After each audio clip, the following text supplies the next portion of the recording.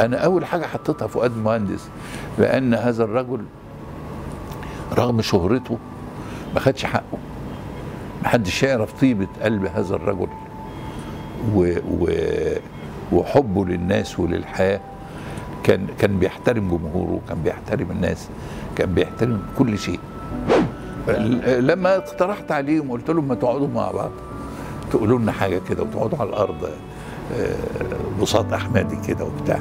قاموا قايمين على طول قاعدين وابتدوا يتكلموا و...